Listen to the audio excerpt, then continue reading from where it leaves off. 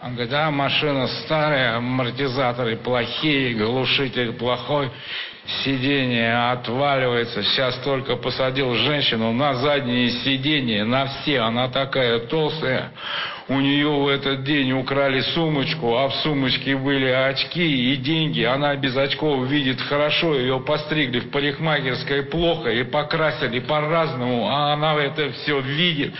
И еще у нее, значит, этот дверца я ей прищемил, пальто прямо так по асфальту валяя, она на, у нее на коленях помидоры все потекли, на рынке она взяла, еще у нее муж запил, деньги все пропил, и своей дочкины, она вообще мечтала жить в Греции и выйти замуж за грека и жить в Афинах, а вышла за этого и живет в Кисловодске, а едет она в налоговую, потому что дача сгорела вместе с гаражом и с ее в Таврии, в которой она не может влечь, и обещала убить диетолога за то, что он дал ей эти таблетки, и еще никого нету.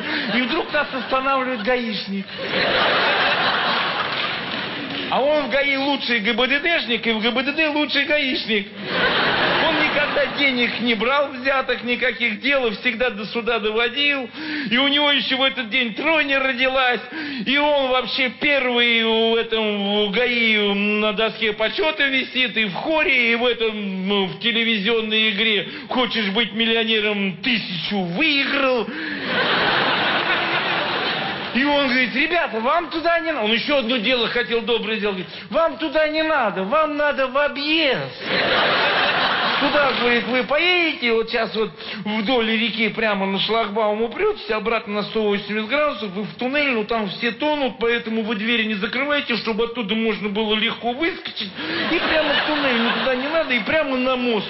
Ну а осторожно, потому что встречный поезд, поэтому по колее вниз с обрыва не доезжает трех метров с потушенными фарами, потому что попадаете на танкодром, они думают, что это мишень, поэтому проскочите между гусениц, попадаете сразу на минное поле и сразу туда выезжаете вниз.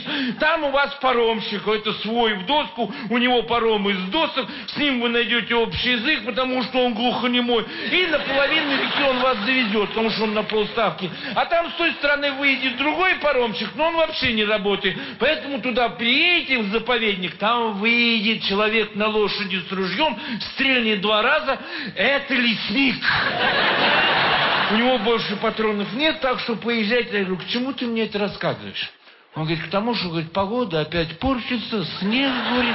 Короче говоря, ребята, этот номер метражный. Если по телевидению пройдет следующий номер, когда была непогода, когда снег был, когда грязь, я его второй раз повторю.